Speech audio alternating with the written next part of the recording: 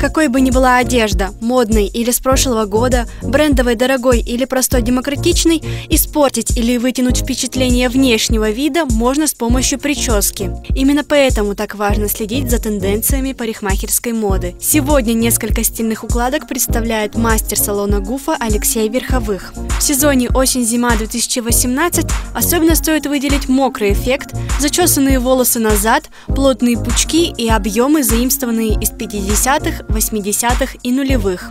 Объем создается с помощью вообще правильно подобранного шампуня и правильно сушить волосы. А, так как мы сушим в салоне против роста, это нам как бы удобнее. В домашних условиях можно девушкам, девочкам сушить просто вниз головой. Это так быстро, максимально можно посушить. А, и объем в этом случае получается такой м- лайтовый. Один из способов добиться желательного объема – плойка гофре. Гофре а, используется как бы не по всей голове, а в том месте, где нужен объем. Как правило, это вот э, зона закругления, ну, может, где-то макушечка. И использовать не просто смыкая, а смыкая у корня больше акцент, и потом мы плавно двигаемся к концам, мы эти движения, смыкания все делаем как бы на уменьшаем количество выдержки да. э, этого приборного волоса. Особенно популярен в этом сезоне эффект мокрых волос.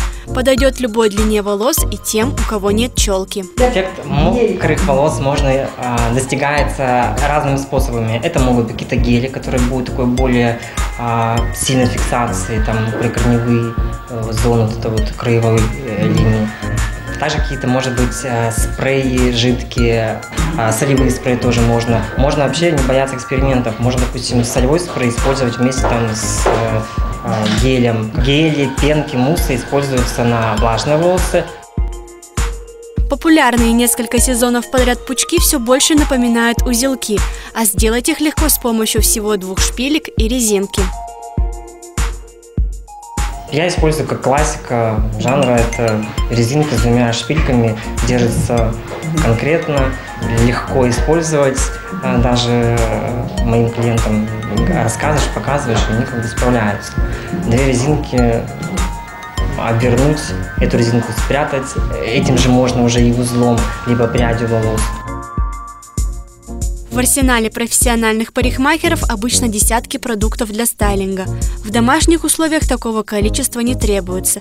Необходимо всего 2-3 средства, в зависимости от типа волос и укладки, которую вы собираетесь носить. Заблуждение, что лак на все случаи жизни. Это как бы неправильно, потому что лак можно перегрузить, и лак, он финишный элемент. Поэтому э, необходимо использовать муссы и либо пенки, но мусс используется для тонких волос, а пенка она более для толстых, плотных, а, чтобы не перегрузить прикорневую часть и а, хорошо распределяется по всей массе волос.